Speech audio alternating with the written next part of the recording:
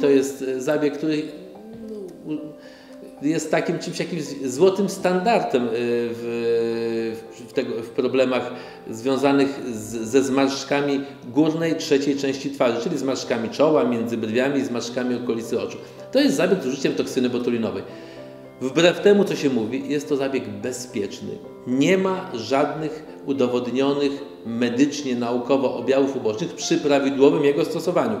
Więc zapomnijmy o tych takich magiach, że coś szkodzi, nie szkodzi. Na dzień dzisiejszy to jest lek. Lek jako taki jest on, jest on kontrolowany. Gdyby były ewidentne objawy uboczne, dawno by tego leku nie było.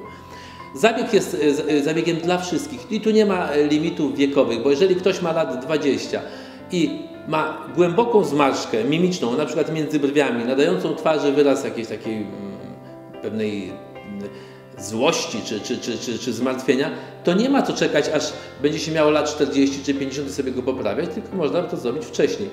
Yy, zabieg jest zabiegiem bezpiecznym, o ile się yy, yy, przestrzega przeciwwskazań. Zasadnicze przeciwwskazanie, o czym pacjenci powinni informować lekarza, to innymi jest ciąża, czy ewentualnie niektóre ciężkie choroby ogólnoustrojowe. Ale tych przeciwwskazań jest bardzo mało.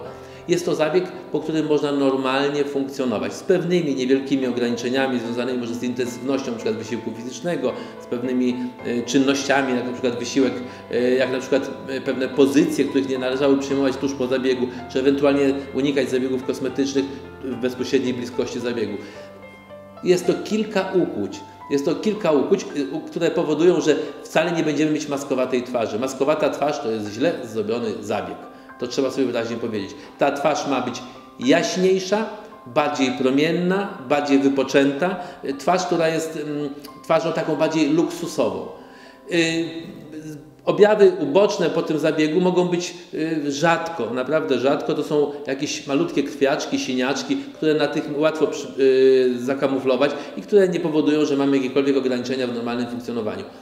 Mówi się dużo również i, i, naj, i, najczęstsze wskazania, i najlepsze wskazania to jest właśnie zmarszki na czole, zmarszki między brwiami i zmarszki okolicy oczu.